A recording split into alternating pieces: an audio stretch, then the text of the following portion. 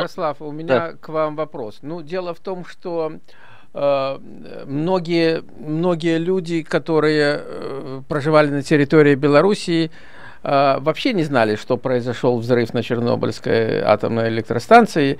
Об этом как бы и не сообщалось. Я могу сказать, я в этот день, 1 мая, то есть это не в этот день, естественно, а через 4 дня я был на демонстрацию, и все радостно с флагами, транспарантами, как тогда было принято, шли на э, смотреть э, там парад и шли на демонстрацию, размахивая. И тогда, ну я не знаю, немногие об этом знали. А скажите, а когда официально все-таки было объявлено об этом? Я, в принципе, получил информацию в первый же день, сразу скажу, я получил ее где-то к обеду 26-го, но, правда, это как бы по своим связям, по своей журналистской линии.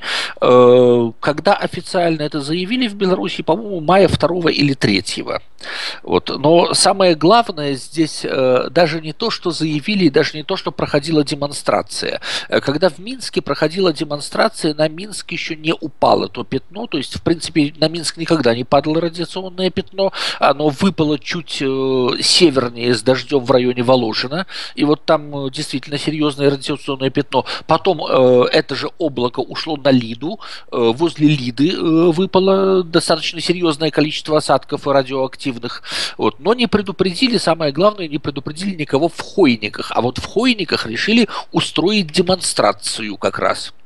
И это угу. было, наверное, самое безумное решение, потому что, ну, как бы они, наверное, знали уже все, но тем не менее в Хойниках ничего не отменили. Отменили в Наровне, в Наровле и отменили в Брагине. Если вы посмотрите на карту Белоруссии, вот к чему я хотел подвести, кстати говоря, э, есть такой белорусский э, Бермудский треугольник. Это Наровля, Хойники, Брагин. Э, все, что южнее, это считается теперь Полесским радиологическим заповедником. Ну, понятно, что заповедник, он за колючей проволокой, как бы, и туда вход э, не всем разрешен, а только по специальным пропускам и прочее, и прочее. Но вот этот треугольник Хойники, Наровля, Бракин, который как бы не попадает под юрисдикцию особого режима, то есть он не находится в заповеднике, но тем не менее он заражен абсолютно э, до такой степени, что представить себе невозможно, невозможно. Вот, тем не менее, в, в этом треугольнике сейчас живут люди, и в этом треугольнике, ну, происходят, скажем так, э, довольно странные вещи. Я уж не говорю там о пятиногих кабанах там и прочих вещах. Э, на самом деле это все не выдумки журналистов и не конспирология. Действительно, э, какие-то там телята с двумя головами, это все есть, это все там происходит. И что касается жителей вот этого вот района, ну что, ну в Наровле, например, до сих пор действует потрясающая конфетная фабрика они выпускают конфеты. Э, хотя вполне известно, что шоколад как бы один из хороших носителей радиации. Но тем не менее это все работает, потому что это выгодно сегодня для Республики Беларусь. И во-вторых, э, ведь весь этот район невозможно было оставить как бы без хозяйствования. На самом деле район кормилец. Э, район, который, районы вот эти вот, э, это три района, в общем-то, я перечислил районные центры, которые кормили и всегда будут кормить Республику Беларусь, но уж чем они ее накормят, тут э, судить ни вам, и ни нам, и, и никому, потому что, ну, пока еще белорусы не перевелись, значит, кормят еще пока нормально. Вот. Но и, и я хочу еще упомянуть одну интересную вещь, что в результате Чернобыльской катастрофы, э, так по элементарным подсчетам, э, заражено было 23% Республики Беларусь. Ну, что такое 23%? Как там у белорусов было всегда? Загинул каждый четвертый в войну, да? То есть погиб каждый четвертый. Ну так вот, считайте, что 23% это каждый, почти каждый четвертый метр Белоруссии заражен в результате Чернобыльского взрыва. Вот это, наверное, и есть самое жуткое, что можно осознать. То есть в Беларуси как- как-то всегда вот так вот получается. Вот, вот каждый четвертый, каждый четвертый человек, каждый четвертый метр квадратный, он всегда то ли то, то ли погибает человек, то ли заражается вот от таких вот э, сверхидей э, э, по поводу четвертого энергоблока. Ну, Сла... я вам хочу сказать, вообще-то говоря, что четверка это, опять же, с точки зрения нумерологии, э, ну, не самая благоприятная цифра. Э, и люди, которые были рождены и рождаются 4 числа, там 13 22 числа, они имеют какие-то определенные э, свои качества. Ну и этим обусловлено. В Китае, кстати, очень и очень не любят четверку, поскольку четверка, она символизирует собой смерть. Вообще-то, вот прямо им даже вот так вот текстом. А в ведической терминологии четверка – это планета Раху, и это очень, это считается демоническая планета вообще на самом деле. Так что в этом что-то есть. Ну, может быть, но тем не менее четыре энергоблока это как бы стандарт советской атомной станции, поэтому четвертый они обязаны были построить в результате. Но вот почему они да, поспешили... но почему четвертый блок ведь взорвался, не третий, не второй, но, не но, но взорвался именно четвертый, да, совершенно верно. Э, поэтому я еще раз говорю, что Беларусь в заложниках практически оказалась, потому что, слава богу, что ничего в Игналине не взорвалось. Я не знаю, в Игналине вообще собирались литовцы в свое время остановить все это дело и брать энергию откуда но, насколько я понимаю, до сегодняшний день эта атомная электростанция еще работает. Ну, я просто надеюсь, что у литовцев ничего не взорвется, потому что если еще и с севера вот так вот по Беларуси грохнуть, то, то все, страну, страну можно закрывать сразу на замок и повесить куда-нибудь ключи. Э, вот, так, вот такая вот история. Вот. И что я еще хотел сказать э, об этом, это, наверное, то, э, что сам город Припять, ведь был такой э, вывеской э, советского строя. Город атомщиков. Э, когда рассекретили, в, в принципе, к этому моменту еще не рассекретили все Арзамасы, там Москва-80 и прочие, и прочие, а вот как раз этот город атомщиков, он считался идеальным. Там были построены хорошие новые дома, там были детские площадки буквально между каждым домом и домом обязательно какие-то игровые игровые места для детей, там были построены потрясающие школы совершенно. И вот это вот такая была вывеска советского строя. Вот посмотрите, как живут наши атомщики в маленьком городе, а городок-то небольшой, сколько там, 12 э, с половиной тысяч человек-то жило всего э, в Припяти. Вот. Но тем не менее он строился как образец. И вот когда этот образец видишь покинутым людьми, это совершенно страшное впечатление, совершенно невероятное. Когда ты понимаешь, сколько здесь было построено, сколько здесь было вложено всего для того, чтобы вот такую вот вывеску плакатную буквально организовать, но о безопасности реактора-то надо было тоже позаботиться, наверное, а не сдавать его раньше срока и под это дело получать премии, государственные премии даже кто-то получил э, по этому поводу. Вот. И тем не менее, вот так вот э, всех жителей, всех работников, весь город подставить на таком уровне. И не стало города. Проходка по мертвому городу никому не пожелаю, даже чтобы во сне не приснилось на самом деле, потому что это очень неприятное зрелище, крайне неприятное. Одно это колесо обозрения, которое там включил, э, построили буквально, по-моему, за то ли за год, то ли за полтора до того, как грохнул на четвертом реакторе. И вот это вот колесо обозрения, с которого нужно было обозревать, и, видимо, очень хорошо обозревалось, на нем не катался до этого, не знаю, э, и Чернобыльскую атомную электростанцию, и весь шикарный городок Припять, и вот это вот слияние Днепра и Припяти, и вот это вот все должно было быть как бы вот все для блага человека, все во имя человека называется. Но вот оно для блага и получилось. Вот так вот. Да. А, скажите, Ярослав, а вообще вот атомные электростанции, а, это, как вы думаете, это зло или это благо? А, я не знаю, что зло и что благо, потому что любая атомная электростанция может быть в перспективе э, наработкой для оружейного э, плутония, для оружейного урана. Поэтому вот почему сейчас весь сырбор, вот видите, опять мы в политику влезаем, да, почему весь сырбор вокруг Ирана разгорелся, да, бог бы с ним построили по ней эту атомную электростанцию в Бушере. Какая проблема?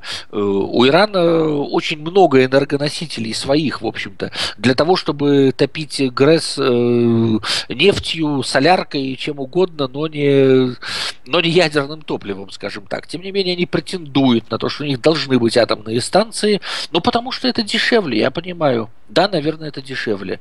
Да, конечно, это благо в какой-то момент. И давайте уж так говорить, что э, Чернобыль это единственная атомная электростанция, которая на сегодняшний день нанесла такой ущерб той территории, на которой она находится. Э, были проблемы и в Соединенных Штатах на атомных электростанциях. А в Японии? Ну, в Японии так там цунами, извините, и землетрясение. Там, там сейсмически неправильная территория для построения атомных электростанций. Э, вообще Япония, как бы, я не думаю, что должна вообще строить когда-нибудь атомные электростанции, э, начиная вот с того момента, э, когда у них так случилось. Нехорошо так скажем. Маленькие острова, зачем, зачем им это надо? Но, тем не менее, Япония вообще не имеет никаких энергоресурсов, поэтому, наверное, атомные электростанции тоже для них считаются каким-то определенным спасением. Ну, Я... дешевле, мы же с вами уже выяснили этот вопрос. Это действительно дешевле? Дешевле, да, дешевле совершенно определенно. Вот. Но в любом случае э, Япония, не имея никаких ресурсов, живет, э, наверное, богаче сегодня, чем Россия, которая имеет абсолютно все ресурсы. Э, про... Верной дорогой идете, товарищи, это называется. Да. Ярослав, ну, э, расскажите про себя. Вы же в какой-то степени сталкер, вы же там были. Э, я там был, и действительно я там много был. Э, что касается сталкерства, я бы это так не назвал, потому что я все-таки... имею в виду человек, который бывал там. Да, да, да. Что он оттуда вынес, история умалчивает. Да, да, да, да, да, да, Кроме радиации. Да, да, да, да, да. Это не братья Стругацкие на самом деле, да.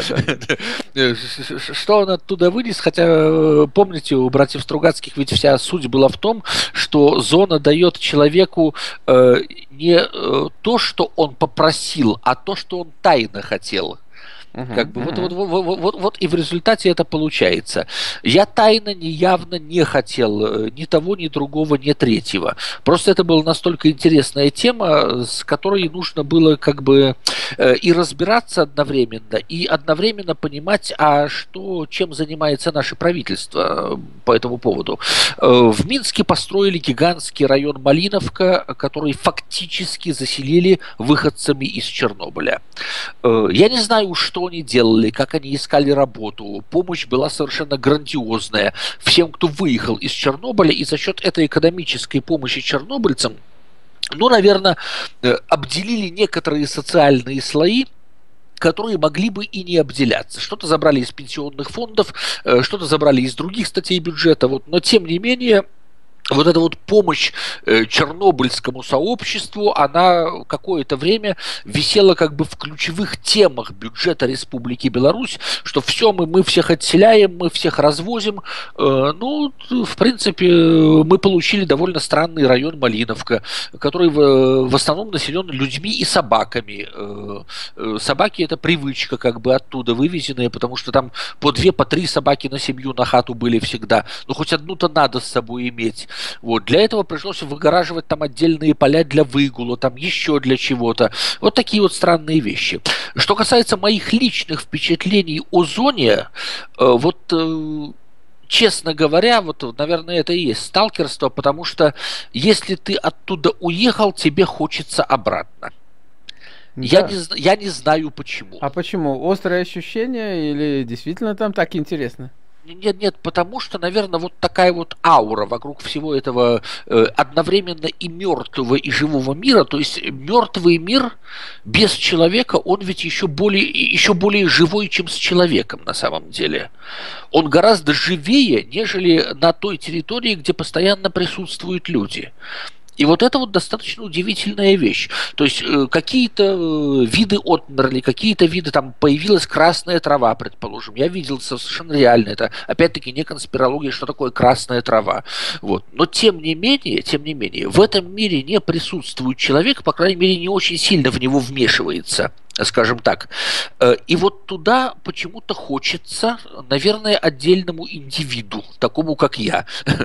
Кто-то, кто, кто, кто-то любит очень э, как бы активный социум, я небольшой любитель активного социума, и вот э, какое-то влияние, какое-то постоянное тяготение к этому есть. То есть, Еще... то есть отпуск проводить, допустим, да, отсюда выезжать, туда отпуск в Чернобыль. Ну, ну, ну, ну, ну, я вам скажу, Михаил, отпуск там не очень-то хотелось бы проводить. Как раз э, Чернобыльская зона – это постоянное напряжение и постоянная работа. То ну, есть это, послушайте, но ведь там люди живут, по-моему, до сих пор. А, вот это вот тема, которую мы еще не подняли, но как раз таки вот я к ней хотел приобщиться. Дело, да, э, э, дело в так называемой обратной миграции в Чернобыльскую зону, потому что освободилось огромное количество домов, освободилось огромное количество целых пустых деревень Э, которые кто-то хотел бы, в которые кто-то хотел бы поселиться. И вот все, кто жил у нас на вокзалах, э, все, кто жил у нас на помойках, они все рванулись обратно в Чернобыльскую зону. Что только там не делали ставили э, специальные отряды милиции, э, окружали деревни ОМОНом, но ОМОН тоже там долго не хотел находиться, потому что зачем же им, они все здоровые парни, а потом они к девочкам как бы не очень-то хорошо зайдут в результате. Вот, поэтому они тоже как бы отказывались от такой работы, и это было совершенно справедливо, потому что ни, ни по каким законам их невозможно заставить работать э, в такой зоне, где очень высокий уровень радиации. А вот все бездомные, все бомжи с вокзалов, они немножко расчистили города. Я так понимаю, это э, как раз э, может быть и неплохо, но они все поехали в ту зону. Э, мой коллега Виталий Семашко, с которым мы работали в программе Крок вдвоем партнерами, он снял целый фильм по поводу, причем с, как, как раз таки с господином Хащеватским, о котором мы говорили, да, вот, они сняли целый фильм по поводу жизни одного бомжа, который живет в Чернобыльской зоне и который там себя просто прекрасно чувствует. Он никогда бы не смог иметь своего дома, он никогда бы не смог иметь своего хозяйства где-нибудь в пределах там э, Минска или любых других городов, потому что у него на все это не было ни сил, ни средств. А так он приехал, он заселился в какой-то отдельный дом, дом, который вот только-только был покинут. Ну а что радиация? Что радиация? Ну, у него здоровья и так уже в принципе немного, а он решил пожить как человек. И вот у него совершенно э, такое перевернутое сознание, что если радиация это не больно, то и бог с ним, как бы. Но его спрашивают, вас же это убивает, вы понимаете, что вас это убивает? Он говорит, ну меня и та жизнь убивала а теперь меня эта жизнь убивает. Но здесь я чувствую себя человеком, а в той жизни я чувствовал себя самым последним человеком. А здесь я первый человек, хотя вокруг на 30-40 километров никого нет от него. Вот это вот совершенно тоже потрясающее ощущение э, человека, который поехал в Чернобыльскую зону, и он не волнуется по поводу того, что он довольно рано умрет. Э, ему это не страшно ему как бы привычнее себя почувствовать. Вот, вот, вот, вот это сталкеры. Вот это сталкеры. Я приехал и уехал. А вот эти вот ребята, которые рванулись в Чернобыльскую зону, чтобы, зону, чтобы пожить в чужих домах, которые строили не они, и в которых жили не они, но тем не менее пожить вот там вот и вот там вот находиться и таким образом почувствовать себя людьми, это тоже совершенно потрясающая тема. Об этом, в принципе, надо бы не документальное, художественное кино снимать, но пока вот просто еще никто не взялся.